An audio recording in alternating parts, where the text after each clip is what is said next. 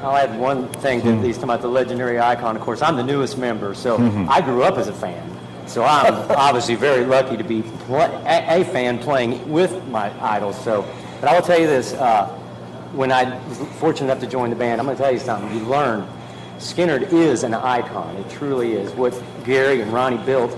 I challenge you. You cannot go a day in this country without at least hearing a Skynyrd song, a Skynyrd quote, something on television, mm-hmm. somewhere you're going to see a T-shirt, something. I challenge you. You cannot go a day in this country without some reference to Lynyrd Skynyrd.